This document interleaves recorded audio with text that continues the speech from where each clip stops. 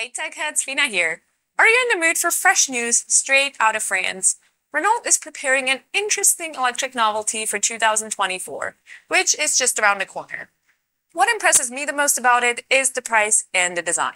Yes, I'm talking about the Renault 5 Electric, which promises to be one of the most affordable electric cars on the market.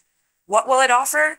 Will it have a 22 kilowatt AC onboard charger, V2L, or even V2G? I'll reveal that and more surprises in today's video. All right, let's get into it. First, let's look at design and history. So the Renault 5 Electric promises modern technology and driving pleasure at an affordable price. The concept was first unveiled in January 2021, and it has this retro futuristic look that's reminiscent of the classic Renault 5, which was a small car produced by Renault in two generations between 1972 and 1996. You must know it. Its uh, square design would be really hard to mix up with anything else. Now, the final design still remains to be seen, but those camouflage prototypes look very interesting, don't they? Let me know in the comments if you've been missing such a car on the market. What about price? So, Gilles Le Borgne, please excuse my accent as I'm not French, I'm sure it's horrible. Renault's Executive Vice President of Engineering has confirmed that the new Renault 5 EV will have a starting price in the 20 to 25,000 euro or 17 to 22,000 pound range. If the price is kept, it will be a very interesting alternative to Chinese competition such as MG4 or the BYD Dolphin. Now, the battery capacities are said to be 40 kilowatt hours and 52 kilowatt hours. Renault claims a range of up to 400 kilometers when using the larger battery. Personally, I think it will be around 340 kilometers real range with the bigger battery and around 280 kilometers with the smaller battery. Now, what do you think about this quoted price? It sounds pretty amazing, right? Do you think Renault will stick to it? Let me know your thoughts in the comments. Now, the new CMF-B EV platform, which is around 30% cheaper to produce than Renault's current small EV platform, underpins its best-selling Zoe EV, which has been on the market for over a decade now. The new battery pack will also help give the vehicle the competitive edge that Renault is after. The switch from the 12 modules, which are seen on the Zoe battery, to four large modules means that the architecture is simpler and also 15 kilograms lighter. Equipped with a single layer of modules, the battery pack is a perfect fit for the new platform. The future electric Renault 5 EV will need less space to transport more kilowatt hours, which is obviously awesome. Per the press release, special care has also been taken to house the battery pack inside the platform for added protection. Its placement will provide added rigidity to the underbody, thereby also improving the acoustics and the driving pleasure.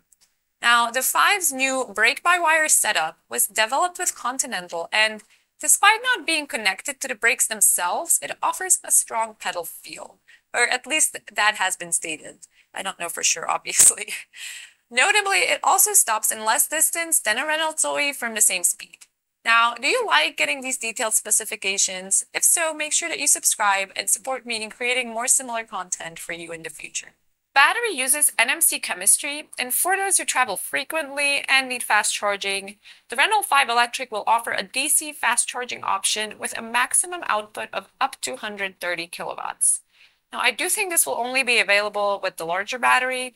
For the smaller 40 kilowatt hour battery, I expect expect similar charging power to the Megane E-Tech EV40. That is maximum 85 kilowatts DC. Unfortunately, there is no information available on what onboard AC charger the Renault 5 Electric will have, but fingers crossed it will be the 22 kilowatt version from the Megane E-Tech. I think that would be a very nice competitive advantage since most European car companies don't offer this option at all. So let's hope Renault goes for it. Now this is cool. The Renault 5 Electric will be the first Renault car to feature a V2G or vehicle-to-grid bidirectional onboard charger. The R5's bidirectional charger combined with the Mobilize Powerbox bidirectional charging station and the Mobilize V2G service will allow Renault 5 drivers to save money on charging and reduce their overall electricity bills by reselling electricity on the energy market using an app and a V2G wallbox that Renault will supply in their partnership with Mobilize. That's really cool. Of course, Renault 5 will also support the V2L or vehicle to load standard, which is very handy. And personally, I think I'd immediately go out somewhere into the countryside just so I can test it out and boil me some water for a nice cup of tea. One minus is that the Renault 5 Electric will have front wheel drive. I don't know about you, but personally, I definitely prefer rear or all wheel drive in my EVs. As per the press release, the electric motor on the future electric Renault 5 will be based on the tried and tested electrically excited synchronous motor, used primarily in the Zoe and Megane E-Tech Electric. Not only does it boast better output than a permanent magnet motor, it also requires no rare earth metals, meaning that large-scale production costs and the environmental impact are both lower. So personally, I love this because I do believe the use of rare earth metals, along with other environmental factors, are often used as an argument against EVs, and it would be great to get rid of these impacts altogether. So this is definitely a step in the right direction.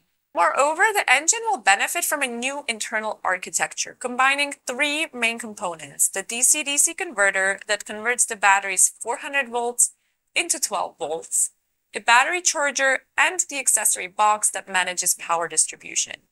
Now, by pulling together the different functions that are performed by these three components in a single box, the engine manages to be smaller and lighter. In fact, it's roughly 20 kilograms lighter than the engine used for the Zoe. The future electric Renault 5 engine will be more enjoyable and dynamic to drive as a result, which of course is great. It would really be a shame if it wasn't. The new Renault 5 EV promises to be revolutionary and not just for the Renault brand, but for the entire automotive industry. Personally, I think it has a great chance to revolutionize the European market because at this point we still lack such an EV, cheap, modern, and European. Basically, for a price under 30,000 pounds, we can only buy the great Chinese MG4 SE or the interesting BYD Dolphin, which as of now is still not available for order in the cheaper active version. So it will depend on Renault's production capacity, its delivering on the promised price, and most importantly, hopefully they'll make it soon. Every month of delay is a problem in electric mobility. Are you looking forward to the Renault 5 like I am? Are you sorry that it doesn't have rear-wheel drive and a rear engine? Let me know in the comments, and I look forward to seeing you again soon.